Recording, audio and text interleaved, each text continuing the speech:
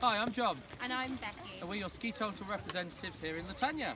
As you can see, we have beautiful blue skies at the moment. There's snow showers forecasted throughout the week, except for Thursday when we're going to have another break of blue skies. The temperatures are staying low, so the snow's going to be in fantastic condition when you get here next week. And remember, we've got night skiing every Monday evening here in the village centre. That's it for now. We'll see you next week. Bye.